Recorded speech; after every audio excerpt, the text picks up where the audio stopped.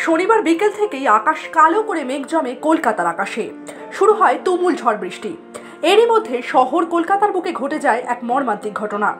রবিবার রবীন্দ্র সরোবরে ক্যালকাটা রোয়িং ক্লাবে জলে ডুবে মৃত্যু হয় দুই কিশোরের। ঘড়ির কাঁটায় তখন বিকেল পাঁচটা পনেরো মিনিট। লেক ক্লাবে একটি বোটে রোয়িং করছিল পাঁচজন কিশোর। কিন্তু এরই মধ্যে ঘটে যায় বিপর্যয়। প্রবল ঝড়ের মধ্যে পড়ে উল্টে যায় বোটটি। এরপর বিপর্যয়ের সাথে লড়াই করে পাঁচজনের মধ্যে তিনজন সাঁতরে পারে ফিরে আসতে পারলেও জলের অতলে নিখোঁজ হয়ে যান বাকি দুই যুবক। এরপর দীর্ঘক্ষণ লেকে ডুবুরি নামিয়ে তল্লাশি চালানোর পর নিখোঁজ দুই যুবকের মৃতদেহ উদ্ধার করে ডুবুরিরা। মৃত দুই কিশোরের নাম পুষণ সাধুখা এবং সৌরদীপ চট্টোপাধ্যায়। মৃত দুই কিশোরী যথাক্রমে চোদ্দ বছর বয়সী সাউথ পয়েন্ট স্কুলের নবম এবং দশম শ্রেণির পড়ুয়া। ইতিমধ্যেই দুই কিশোরের মৃত্যু ঘিরে চাঞ্চল্য ছড়িয়েছে রাজনৈতিক মহলের সর্বত্র। আর তার সাথেই দানা বাঁধছে বেশ কয়েকটি প্রশ্নের। কলকাতা রোয়িং ক্লাবের নিয়ম অনুযায়ী সাঁতার না জানলে বোটে উঠতে পারতেন না কেউই। তবে এ বিষয়ে সাউথ পয়েন্ট স্কুল কর্তৃপক্ষ জানিয়েছে, বেশ ভালো রকমই সাঁতার জানতেন ওই দুই পড়ুয়া। তারপরেও কি করে ঘটে এমন দুর্ঘটনা?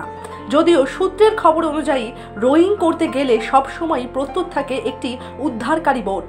এ প্রসঙ্গে কর্তৃপক্ষের বক্তব্য অনুযায়ী, পূর্বে সেটি যথাস্থানে থাকলেও পরবর্তীতে পরিবেশবিদদের একাংশের অভিযোগের ভিত্তিতে রোয়িং করার সময় তুলে দেওয়া হয় উদ্ধারকারী ওই বোট পরিষেবা।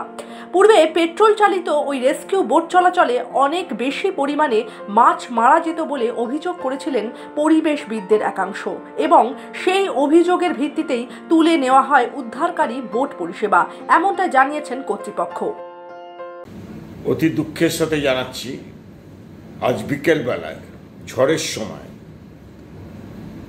লেকের ক্লাবের থেকে বোট নিয়ে পাঁচটা ছেলে নাবে। এবং ঝড়ের কবলে পড়ে।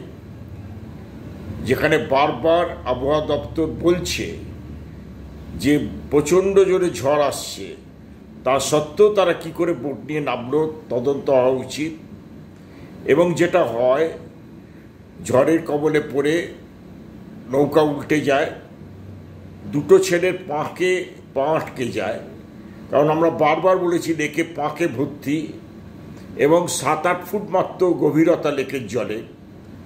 পাকে পা আটকে যায়, উঠতে পারে না এবং অক্সিজেন যেহেতু কম ছিল পাঁচ ছ মিনিটের মধ্যেই ওটার চেষ্টা করে যখন উঠতে পারেনি তখন মারা যায় আর তিনটে ছেলে সাঁতার কেটে ফেরত আসে। এবং আমরা বারবার বলেছি, ওখানে রেস্কিউ বোট লাগতে, যেটা ব্যাটারি অপারেটেড হবে, পেট্রোল ডিজেলের ব্যাপার নিয়ে আমরা কথা বলেছি যে দূষণ ছড়ায়, কিন্তু ব্যাটারি অপারেটেড বোট ডেফিনেটলি রাখতে রেস্কিউ করার জন্যে ডিজাস্টার ম্যানেজমেন্টের গ্রুপ রাখতে হবে। এবং আর একটা যেটা দরকার, প্রত্যেকটা বোটে আরএফআইডি ট্যাগ লাগানো দরকার। কারণ বোট যদি দুর্যোগের কবলে পড়ে, সেখানে কোনো ক্লাবে বসেই মনিটর করা যায় কোন বোটটা কি ঘটছে। কোথায় আটকে গেল বা ঠিকভাবে যাচ্ছে কিনা। এক্ষেত্রে রেস্কিউ বোট থাকলে হয়তো প্রাণে বেঁচে যেত ওই দুই যুবক, এমনটাই মনে করছেন ওয়াকিবহাল মহলের একাংশ। পাশাপাশি কাল বৈশাখীর পূর্বাভাস থাকা সত্ত্বেও কেন দেওয়া হলো রোয়িংয়ের অনুমতি, সেই প্রশ্ন তুলেও কর্তৃপক্ষকে সওয়াল করেছেন একাংশের মানুষ। পাশাপাশি ঘটনাস্থলে পৌঁছে উদ্ধারকারী নৌকা নিয়ে ক্ষোভ প্রকাশ করে পরিবেশ প্রেমীদের আরও বাস্তব ভিত্তিক চিন্তাভাবনার পরামর্শ দিয়েছেন কলকাতা কর্পোরেশনের মেয়র ফিরহাদ হাকিম। আমাদের একটা সবথেকে বড় সমস্যা হচ্ছে যে এখানে যারা এনভায়রনমেন্টালিস্ট আছে, তারা বাস্তবটা বুঝতে পারছে না। একটা রেস্কিউ বোর্ড থাকা অত্যন্ত দরকার। দেখুন, এটা এটা আমি ক্লাব কর্তৃপক্ষদের বলব, কারণ এটা ট্রেনিংটা তো ক্লাব কর্তৃপক্ষরা দেয়। এদের একটা বলা উচিত যে একটা রেস্কিউ বোর্ড আমি লেকে বেড়াবার জন্য নয়, তাতে একটা রেস্কিউ বোর্ড আমি রেখে দিলে যখন লোকেরা যখন ট্রেনিং কম্পিটিশন হচ্ছে বা যখন রোয়াররা নামছে, তখন মহামারী অশুদ্ধ হয়ে যায় না। এছাড়াও এ বিষয়ে রোয়িং ক্লাব কর্তা চন্দন রায়চৌধুরী বলেছেন, কিশোররা ঝড়ের পূর্বাভাস বুঝতে পারেনি। একটি প্রতিযোগিতার ফাইনালের প্রস্তুতি নিতেই জলে নেমেছিল তারা এবং তারই মাঝে আকস্মিকভাবে ঘটে যায় এমন ঘটনা। জলের মধ্যেই আশেপাশে ছিল পাঁচ কিশোর। তার মধ্যে তিনজনকে উদ্ধার করা গেলেও উদ্ধার করা যায়নি নিহত ওই দুই কিশোরকে। তবে এ প্রসঙ্গে সচেতন সামাজিক পরিমণ্ডল এবং পরিবেশবিদদের মহল থেকে উঠেছে প্রশ্ন।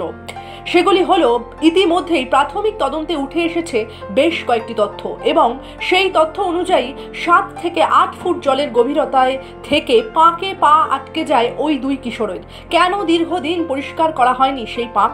আবহাওয়া দপ্তরের তরফ থেকে ঝড়ের পূর্বাভাস থাকা সত্ত্বেও কেন দেওয়া হলো রোয়িংয়ের পারমিশন? এছাড়াও পরিবেশবিদদের তরফ থেকে প্রশ্ন করা হয় ক্লাব কর্তৃপক্ষের কাছে, কেন রাখা হয়নি ব্যাটারি চালিত রেস্কিউ বোট? এবং সবশেষে তারা বলেন, ভবিষ্যতে ক্লাব কর্তৃপক্ষের উচিত প্রত্যেকটি আপ এফ আইটি ট্যাগ লাগানোর যাতে বোটগুলি দুর্যোগের কবলে পড়লেও খুব সহজেই পর্যবেক্ষণ করা যায় বোটগুলিকে। High news network.